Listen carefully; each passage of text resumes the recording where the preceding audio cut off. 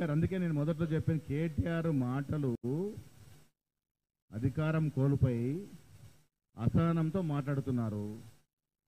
నేను మీ ద్వారా కేటీఆర్ గారికి మైసులో మాకన్నా చిన్నాను రాజకీయాల్లో ఉన్నప్పుడు వాస్తవాలు మాట్లాడాలి.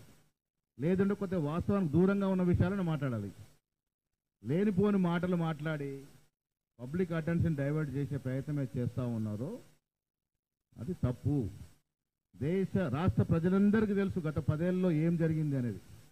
మీలాంటి మేధావులకి అందరికన్నా ఎక్కువ తెలుసు ఏం జరిగింది ఈ రాష్ట్రంలో అని. ఎందుకు అధికార మార్పిడి జరిగిందో కూడా ప్రజలకు తెలుసు. ఇంకా వాళ్ళు మాట్లాడే మాటలకి మనం పట్టించుకోవాల్సిన అవసరం లేదు.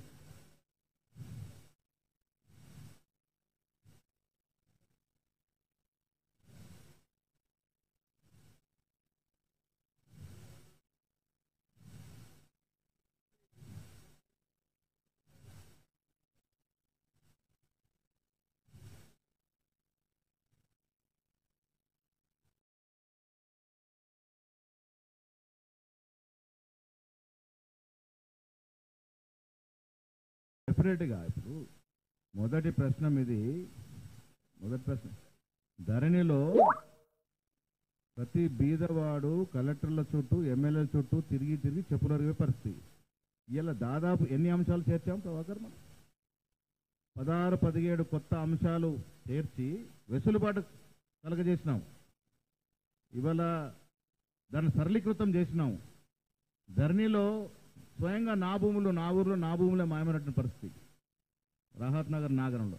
ఇవాళ చాలా వెసులుబాటు తీసుకొచ్చాం. ఇవాళ ప్రజలు స్వేచ్ఛగా ఇప్పుడు కలెక్టరు ఎమ్మెల్యేల దారి కనిపల్లి ఇవాళ ఎంఆర్ఓతో అవుతా ఉన్నాయి. సరళీకృతం అయింది ధరణి సమూలంగా మారింది. అది మొదటిది. రెండవది మీరు అడిగింది ఈ రాష్ట్రంలో మేము అధికారంలో వచ్చినాడికి ఎనిమిదిన్నర లక్షల కోట్ల అప్పు. ఆర్థిక వెసులుబాటు అసలు లేని సమయంలో కూడా మేము ఇచ్చినటువంటి గ్యారంటీలు దాదాపుగా పూర్తి చేస్తూ ఉన్నాము ఇంకా కొంత వెసులుబాటు రాగానే మిగతా కూడా పూర్తి చేసే ప్రయత్నం చేస్తాము. సోషల్ మీడియాలో అసలు రాజకీయాల్లో ఉన్న వారందరం కూడా కొంత నైతిక విలువలు పాటించాలి.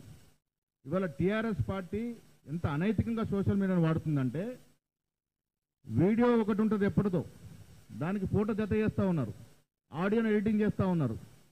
ఫోటోలు మార్పింగ్ చేస్తూ ఉన్నారు. ఇంత దిగజారుతనం అవసరమా? ఏం లబ్ధి చేకూరుస్తుంది దీంట్లో? ఇప్పుడు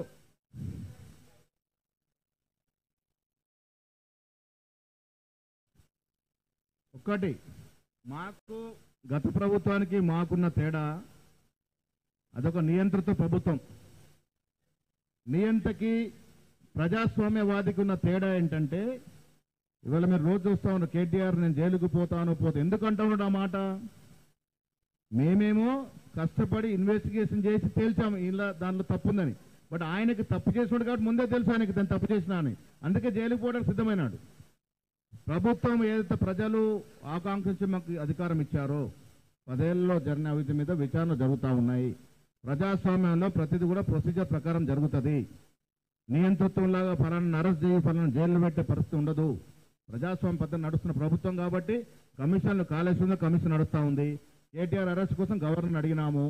ఈ అన్నిటి మీద కమిషన్ జరుగుతుంది ఏది ఏమైనా వాస్తవాలు బయటకు వచ్చిన తర్వాత న్యాయబద్ధంగా ఎవరికి ఏది దక్కాలో ఏ పనిష్మెంట్ దక్కాలో దక్కుతుంది.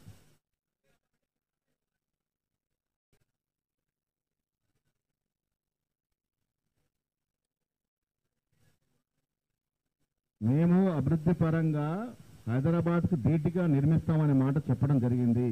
రెండవ రాజధాని అనే మాట ఇక్కడ అనలేదు. ఇవాళ కూడా ఇక్కడ వేం నరేందర్ రెడ్డి గారు వరంగల్ వాస్తవ్యులు అడ్వైజర్గా ఉన్నారు. మీకు విమానాశ్రయం రాబోతా ఉంది. గిరిజన యూనివర్సిటీ ఓపెన్ కాబోతా ఉంది. పోర్ట్స్ ఫ్యాక్టరీ ఆదోకిన జరుగుతూ ఉంది. ఇంకా మేము అడుగుతా ఉన్నాము కేంద్రం నుంచి రావాల్సినటువంటి. రింగ్ రోడ్లు ఇంకా రెండు రింగ్ రోడ్లు హైదరా హైదరాబాద్ నుంచి వరంగల్కు తాకపోతా ఉన్నాయి. ఇలా ఒక్కొక్కటి లెక్క పెట్టుకుంటే చాలా సైనిక్ స్కూల్ కూడా రాబోతా ఉంది. పీపీపీ మోడల్లో. రకరకాల అభివృద్ధి హైదరాబాద్ తర్వాత వరంగల్కి ఇస్తా ఉన్నాము. ఇంకోటి కూడా చెప్తా ఉన్నా కాంగ్రెస్ పాలసీ నిన్న మొన్న రాద్ధాంతం జరిగింది ఎక్కడ? లక్చర్లలో.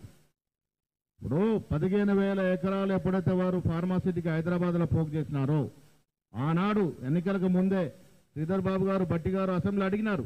ఒక చోట పదిహేను వేల ఎకరాలు చేసి మీరు డీసెంట్రలైజ్ చేస్తే ఇది నష్టం జరుగుద్ది. ఒకే చోట ఉండడం వల్ల ట్రాఫిక్ సమస్యలు పోలీస్ సమస్యలు వస్తాయని మాట చెప్పడం జరిగింది. మా విధానం ఈ రాష్ట్రం సమూలంగా అభివృద్ధి జరగాలి. ఫార్మాసిటీ ఎందుకు ఆదిలాబాద్లో ఉండకూడదు? ఎందుకు ములుగులో ఉండకూడదు? ఎందుకు బాసల్లో ఉండకూడదు? ఎందుకు హైదరాబాద్లోనే ఉండాలి?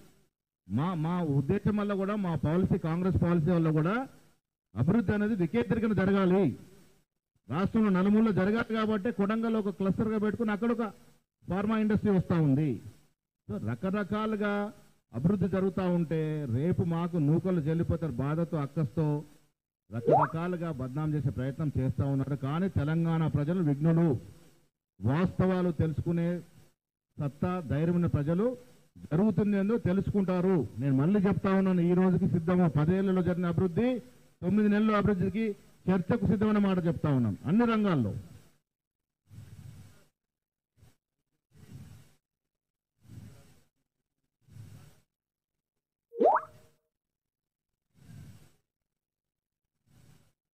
మహిళా డిక్లరేషన్ చేయకుండానే మహిళలకు ఇవ్వాల్సిన పది నెలల్లో ఏం చేసామో చెప్పబోతా ఉన్నాం. మీరు చూస్తా ఉన్నారు ఏం చేసాం